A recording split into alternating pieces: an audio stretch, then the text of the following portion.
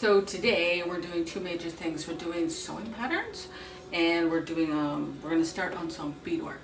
Okay, so this is episode four. Alright, so uh, sewing patterns. I'm sure you've all seen these and what I'm going to do is I'm just going to give you a brief overview of exactly everything these are.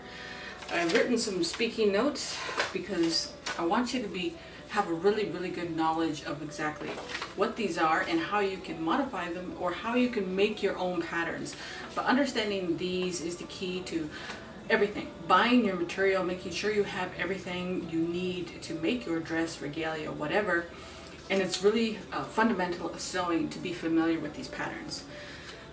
So first of all, I'm going to be showing you, um, this one here is made by a company called Butterick. Um, and they look like this. They come, they have envelopes, and they usually have a newsprint instructions sheets. And then they also have these translucent brown um, patterns. This is the stuff that you're actually going to be placing onto the fabric. So it's kind of like stuff when you first buy it, you know, like an air mattress or something. It's all perfectly folded, but once you unfold these and get the actual pieces that you need, you're never going to get it that flat. At least I never have. At any rate, so let's just jump right in.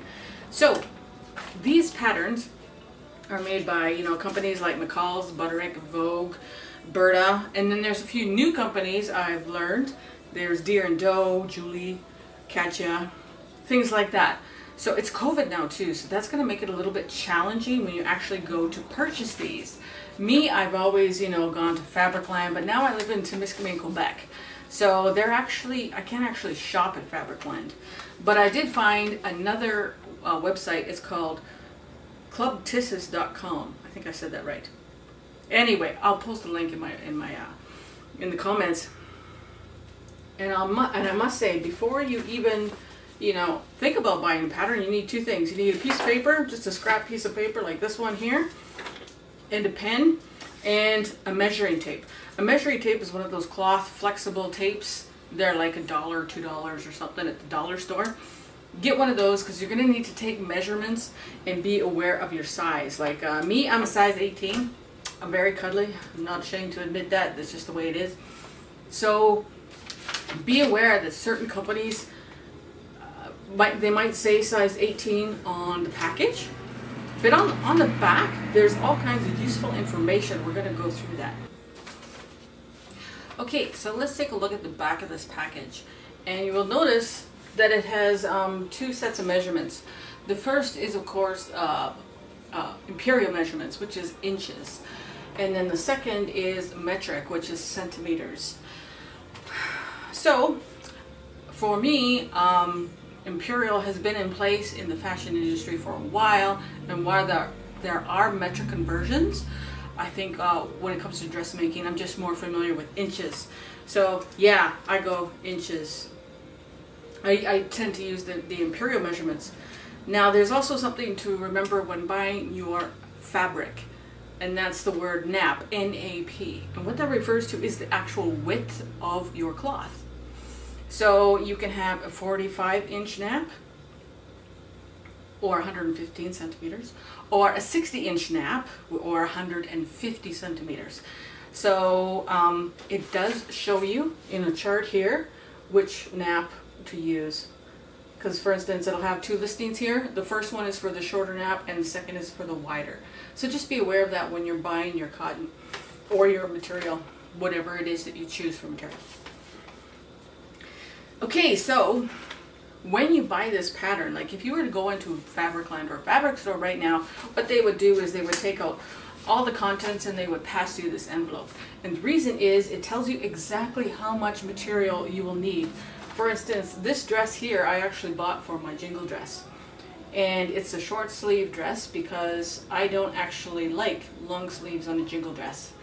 I know it's a standard to have nice beautiful long sleeves, but I like to have short sleeves because I can't stand long sleeves. It's just a personal thing. And then I like to make beaded cuffs. That's the way I do it. So, um, they will give you this and it shows you everything that you need to buy. Now, on the bottom, there's going to be a, a section called notions. Notions refers to zippers, buttons, uh, elastic, uh, interfacing, all that kind of um, stuff that you might need. Uh, hook and eyes, invisible zippers, and it will tell you exactly how what you need. For instance, this one, this uh, this pattern here calls for a 22 inch long invisible zipper. And don't worry, there's the metric side if you prefer metric also. So, and it also tells you, for instance here, um, for my size, which would be a 1X, uh, 45 inch nap, I would need four and one eighth of, of material. So let's say I'm shopping and I, I see my material or I'm shopping online, then I can put in four and, but always have a little extra. I would say I'd like uh, four and a half yards of blue or whatever. And it tells you on the pattern. Now, if you're making powwow regalia, I would suggest that you get more. And there's some, uh, there's, um, um, we will, in a later edition, I will show you how to measure for a shawl because that's a special measurement all in itself and you're not going to find a pattern for a shawl. It's pretty easy.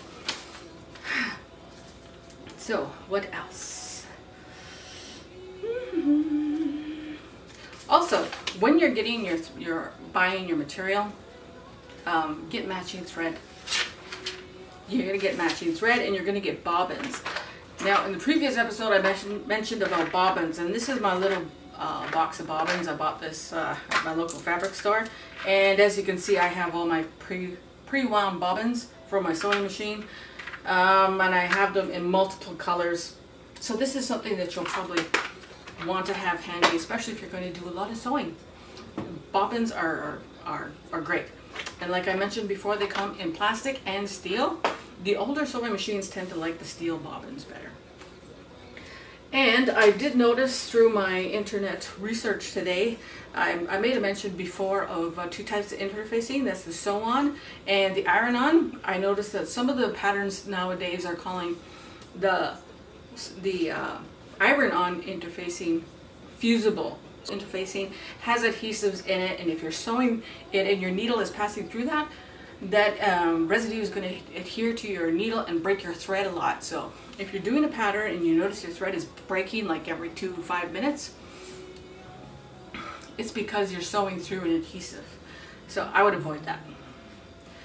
Uh, finally final message on the sewing part Remember that when you're sewing, you're also going to be picking up an iron, distilled water, a spray bottle, an ironing board or an ironing surface, and a pressing cloth. These are very important because when you're finishing your patterns and you're, and you're uh, sewing a seam and you want to see how it looks and you're pressing it, you're going to press it open and yeah, a good quality iron is, is the best thing. So, so that's the end for this portion of sewing patterns. Um, if you have any questions, by all means, feel free to ask them in the comments and I will ask them, uh, answer them in the next episode. What else will I say? Oh, also, that's another note. Um, in making your own patterns, it's always good to keep newspapers around. Yes, good old-fashioned newspapers because uh, when I make um, my son's uh, grass dance regalia, I make his patterns solely from newspapers because they're the same texture and consistency as this pattern paper that they include in, you know, patterns. And it's, you know, thin enough for you to pin onto your fabric. Final, final, final note on this section is pins. Buy a good quality pin because if you buy beautiful fabric and you pin it with cheap pins, what's going to happen is if you have like a satin or something, it might snag. So spend more money and get good pins. Like for instance, this these pins are Singer pins, and they also have a colored head on them because the last thing you want to do, especially if you have kids or pets around, is lose uh, pins, especially when you're doing a big project. These are not fun things to lose. But if you buy the colored ones, then you know exactly where they are. So that's my, my recommendation is to buy ball head pins from a good quality from a good quality brand. These ones here are Singer. So yes, make sure you buy really good dressmakers pins, high quality pins. And I'm going to change camera angles and we're going to get into beadwork. Alright, let's get into some beading. So over there. As you can see, I have double thread and I'm just going to do some beadwork here. Um, yeah, so uh, I usually like to watch TV or listen to some music while I'm beading. I have a uh, playlist on YouTube. It's called Indigenous 2021 and I spent some time on that yesterday and what I was just doing was you know adding some of the best uh, indigenous music I can I could think of from across North America so I published that uh, I will post a link to that playlist in the comment section of this video so and then feel free to go ahead and check it out and make suggestions if there are some indigenous artists out there that you think uh, people would like. So yeah, I like beadwork. It's very relaxing. And I do want to make a comment on sacred space. And I've talked about this before. And what that means is I've smudged. I'm in a calm and positive frame of mind. And I can just, you know, do my beadwork, you know, uh, stress-free. And it's really relaxing. So as you can see, I double thread. I put two beads on at a time or one depending on the space. Like I think I'm only to get one bead in here. This is the uh, strawberry detail on the hair ties that I'm doing for my granddaughter. So, and I like these uh, furniture coasters because they're stab proof.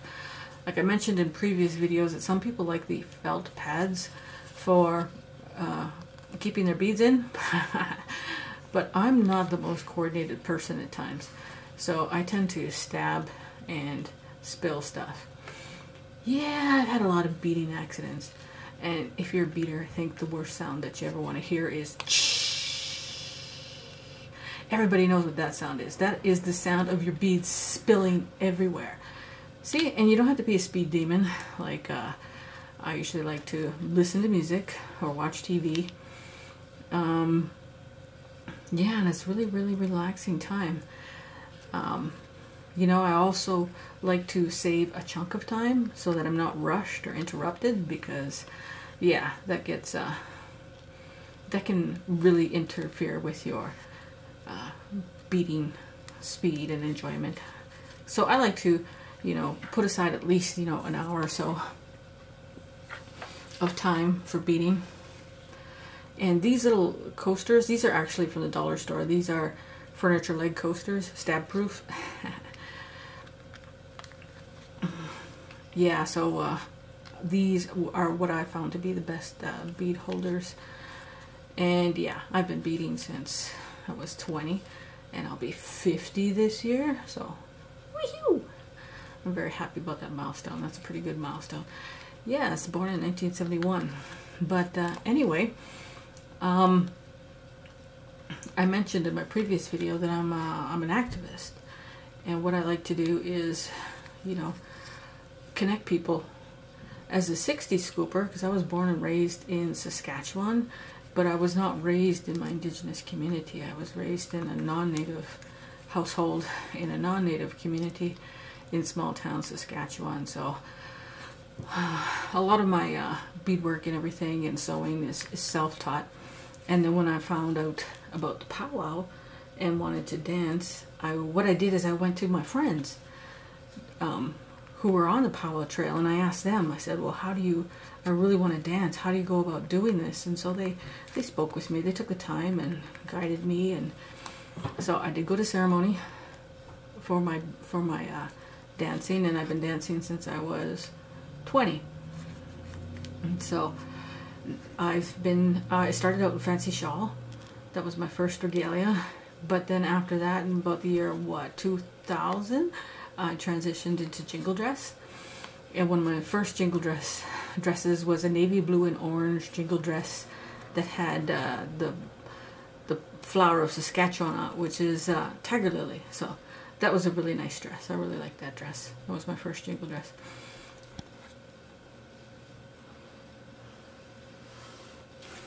I would like to point out a few things, you know, like uh, when before you start beading, make sure you have everything ready. Like uh, I always keep my beads or my needles. You know, before I used to have a curtain, and I used to put my needles into cur into the curtain before I uh, started beading. But these this little thing is is much better. Have everything you need ready first, which are all your beads. Make sure they're at the ready. Uh, your thread, your beeswax. And sometimes when I'm beading, like I, uh, if you're wondering about the length of uh, thread, I just go uh, two arm lengths because it's, you know, double threaded. And then I put beeswax on it. And you'll notice sometimes when you're halfway done beading that uh, your thread is going to start to knot up on you again. Then go ahead and reapply beeswax. Beeswax is a lifesaver. And yeah, once you get to sewing, it's really important that your thread doesn't knot up on you. And beeswax is the most awesome thing for that. I do want to mention though, uh, pure beeswax is probably the best. And the way you can tell it's pure beeswax is it doesn't melt in the sun. And it really has a nice scent to it. It's a natural product, you know, makes me feel more close to the bees. But uh, yeah, I love beeswax, and you and every um, bead store probably on Turtle Island will have beeswax available uh, with all your beading supplies. Okay, now before we get too far along, I did want to show you some of my uh, beading projects. Um, I have, uh, I've done peyote stitch on feathers. I've done uh, because I'm also an artist, I've done logo design. This is for the Temagami First Nation powwow. That's my daughter. That is in 1990, no wait, 2006, I believe. Um, I do loom bead work. This was all done on a loom. Um, this is my daughter in 2006. Uh, I did a day star on her regalia. And I had a powwow, and I've been a powwow vendor since 2000. So what you see is my vending booth in the background. Um, this is one of my beaded cuffs from my earlier jingle dresses. Oh, no, no. Oh, and I've done painted boxes. This is a painted wooden box. This is a, a, a hairbreadth I did. You recognize that guy from Vancouver Olympics. Uh, this is a fancy shawl I did. And some beadwork. This is some really early bumpy beadwork I did. And my phone just doesn't want to work some more beadwork. I do a lot of NHL crests. There's uh, Ottawa Senators.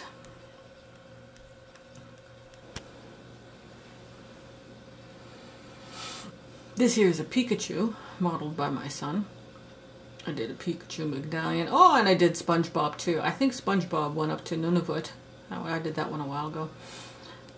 What else? Oh, and the North Bay Battalion. I just sold that one last year at a market on uh, the North Bay waterfront. And then again, a picture of my daughter again. So yeah, I will have more samples of the beadwork I've done over the last few decades in future videos. And I'll have some more pictures of powwow and, and stuff like that too.